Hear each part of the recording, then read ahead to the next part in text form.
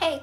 Sorry it's a little early in the morning so the lighting's terrible right now, but today I'm going to be doing a workout that I've started doing recently, as in twice, this will be the third time. And it's stuff that I don't normally like, but for some reason it's been like a good workout for me.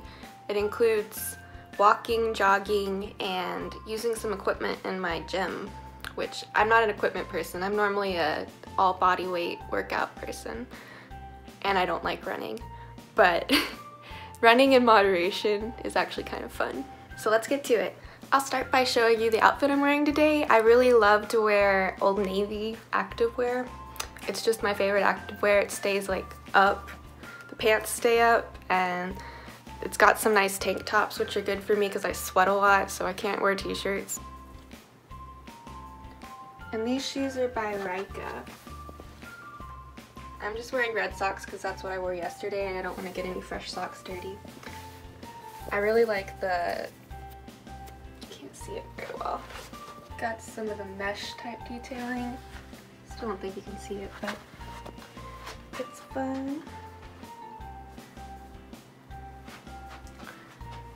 There's, I love the flower pants. Can you see the mesh detailing yet? Ta-da. also, I forgot to show you the back. I really love the back of this. So now I'm starting with some stretching and while I'm still in my dorm. Do some half moons.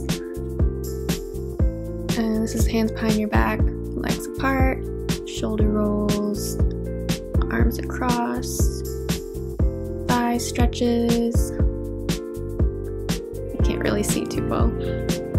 This is calf muscle stretching lunges. Now I'm actually getting onto a treadmill in the gym.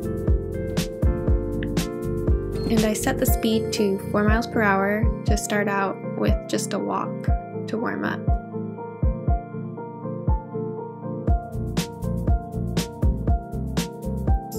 And then after four minutes, I change to 6.5 miles per hour and start jogging.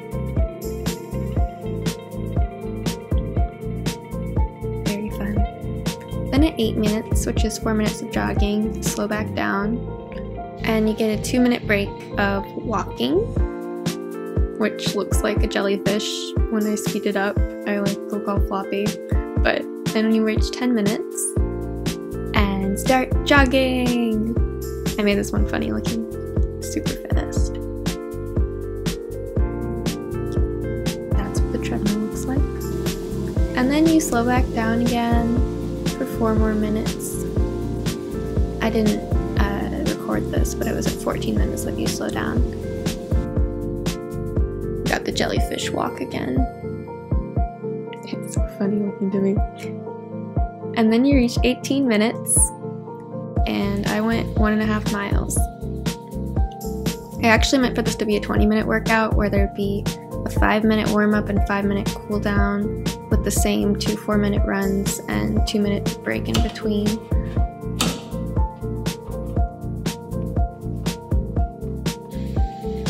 Now I am doing what I like to call the chicken. I thought this would help my abs, but I feel this more in my butt and legs. And then I'm switching to the pickaxe. I felt this one pretty strongly in my mid area on the side of your waist. I don't know what to call that zone, but I did both sides like a good working out person. And then I just thought it'd be fun to stretch my back and hang off the thing by my back.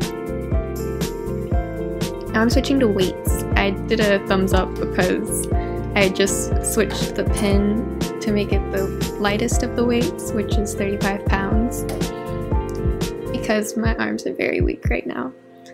You'll see as this goes along. I think I do like 10 kind of push-ups and then I tried to do the other angle that the machine recommended, which is like a higher angle, but it hurts a lot.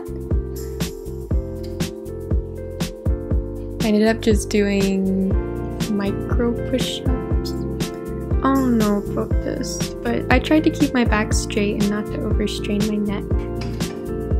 And then I try to go and do a second set and that's a no. These are pull down things.